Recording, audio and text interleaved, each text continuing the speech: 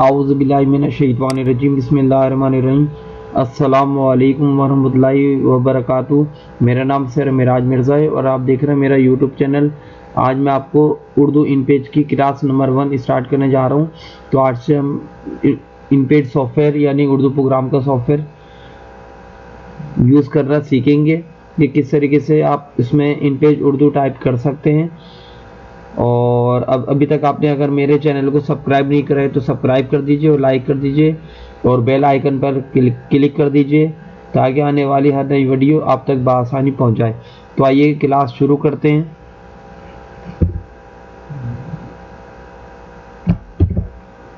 सबसे पहले मेरे पास यहाँ पे एक इन इनपेज 2012 का सॉफ्टवेयर आ रहा होगा। जैसा कि आपके, आप स्क्रीन पर देख रहे होंगे यहाँ पे, इसका शॉर्टकट बना हुआ है। तो इसको आप यहाँ से ओपन कर सकते हैं। और यहाँ से ओपन करने के अलावा आप यहाँ स्टार्ट मेन्यू में भी आके यहाँ पर इन पे 2012 पे क्लिक कर सकते हैं इस जगह पे। तो यहाँ पे मैं एक क्लिक करूँगा तो सॉफ्टवेयर यहाँ पे मेरा इन पे 2012 सॉफ्टवेयर ओपन होना शुरू हो जाएगा, जिसमें आप अरबिक इंग्लिश हिंदी कश्मीरी पश्तो सिंधी सराइकी ये तमाम लैंग्वेजेस वगैरह इसमें टाइप कर सकते हैं। ये InPage Urdu program software होता है और उर्दू लिखने के लिए काम में आता है। इसमें हम कुरान पाक वगैरह भी टाइप कर सकते हैं और एराब वगैरह भी लगा सकते हैं। अब जैसा कि आप देख सकते हैं, मेरा ये इन पेज सॉफ्टवेयर ओपन हो चुका है। और सबसे पहले मैं यहाँ पर आऊँगा फ़ाइल में आऊँगा और न्यू पे क्लिक करूँगा यहाँ पर। कंट्रोल एन इसकी शॉर्टकट की होती है।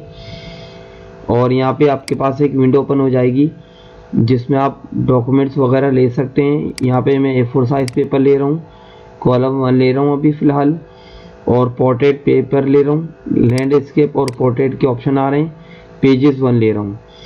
और इसमें डायरेक्शन राइट टू लेफ़्ट होती है क्योंकि उर्दू जो होती है राइट साइड से लिखी जाती है इस वजह से यहाँ पे टिक लगा हुआ है। और इसको मैं यहाँ पे ओके पे क्लिक कर रहा हूँ। अब यहाँ पे मेरे पास सॉफ्टवेयर ओपन हो चुका है और यहाँ पे मेरे पास कुछ टूल्स वगैरह आ रहे हैं। आज मैं आपको सिर्फ़ इसका इंट्रोडक्शन वगैरह दे रहा हूँ कि किस तरीके से इसमें आपको इसकी सेटिंग वगैरह करनी होती है। सबसे ऊपर आपके पास टाइटल बार आ रही होती है। ये टाइटल बार आ रही है। सेकंड नंबर पे मेन्यू बार आ रही होती है, जिसमें फ़ाइल एडिट व्यू तमाम मेन्यूज़ वगैरह होते हैं, जिनको हम स्टेप बाय स्टेप सीखेंगे। उसके बाद आपके पास ये रिबिन बार आ रही होती है, जिसमें आपके पास जो भी आप टूल्स वगैरह ले रहे होते हैं तो उसके ऑप्शंस वगैरह आ रहे होते हैं। अब यहाँ पे उर्दू इन पेज फ़ोन के कुछ ऑप्शंस वगैरह आ रहे हैं। उसके बाद आपके पास ये रूलर होता है स्केल होता है, जिसको आप मेजर करके कोई भी चीज़ इसमें वर्क कर सकते हैं। ये आपके पास रूलर हॉरिजेंटल कहलाता है और ये वर्टिकल के लाता है। और लेफ़्ट साइड पे मेरी एक टूल बार आ रही है, जिसका हम इस्तेमाल करेंगे। और यहाँ पे एक स्क्रीन आ रही है और बाकी जो ये जो आ रहा है, ये आपका मार्जिन कहलाता है। ये मार्जिन गैप होता है कि इन पेज के अंदर आपका पेपर का साइज़ तो यहाँ तक का है, पर यहाँ से पेपर साइज़ स्टार्ट होगा। बाकी जो ये होता है, ये मार्जिन इसमें हमने दिया हुआ होता है। इसके अलावा यहाँ पे एक लाइन ब्लिंक कर रही है। तो यहाँ पे जो ब्लिंक कर रही है, यहाँ पे आप अपनी टाइपिंग वगैरह स्टार्ट कर सकते हैं। कैप्स लॉक को ऑफ़ करके आप टाइप करेंगे। अगर मैं यहाँ पे कुछ टाइप करना चाह रहा हूँ, जैसे मैंने यहाँ पे ए लिखा तो आप देख रहे होंगे यहाँ पे स्क्रीन पे देखें, काफ बना हुआ आ रहा है। स्क्रीन पे ए लिखने पे काफ बना हुआ आ रहा है। मैंने ए लिख रहा हूँ तो काफ बना हुआ आ रहा है। तो इसकी सेटिंग किस तरह की जाएगी वो देख लें। यहाँ से मैं थोड़ा फ़ॉन्ट साइज़ बड़ा भी कर देता हूँ। और आप दोबारा देख सकते हैं, मैं ए टाइप कर रहा हूँ तो काफ बना हुआ आ रहा है। और इसकी सेटिंग कैसे करनी है आपको? एडिट में आना है। एडिट में आने के बाद प्रेफरेंसेस में आना है। और यहाँ आने के बाद कीबोर्ड प्रेफरेंसेस में आना है। क्योंकि मैंने फ़र्स्ट टाइम ये सॉफ्टवेयर इंस्टॉल किया है, इस वजह से इसकी सेटिंग आपको बाय डिफ़ॉल्ट यहाँ पे मोनोटाइप दिख रही होगी। तो आपको मोनोटाइप से चेंज करके इसको लाना होगा फोनेटिक में। फोनेटिक वो होता है फॉन्ट जिसमें ए अलिफ की नस्बत से टाइप पूरा होता है एस से सीन आ रहा होता है, इसी तरह डी से दाल आ रहा होता है, और जेड से जे आ रहा होता है। तो हम फोनेटिक कीबोर्ड में इसको ओके कर देंगे।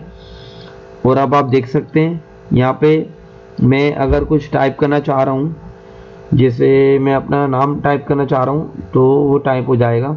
या या मैं यहाँ पे लिख रहा हूँ जैसे पाकिस्तान जिंदाबाद।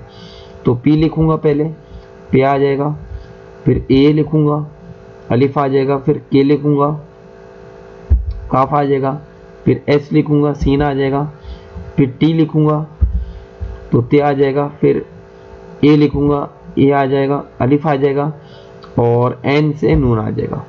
जब पूरा एक वर्ल्ड टाइप हो जाएगा तो आप एक स्पेस देंगे।